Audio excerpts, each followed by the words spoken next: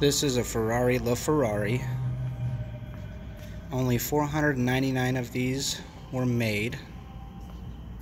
It has 660 foot pounds of torque and 950 horsepower. MSRP on these were originally 1.4 million. This one is for sale here at Salt Lake City Ferrari for $3.5 million. Not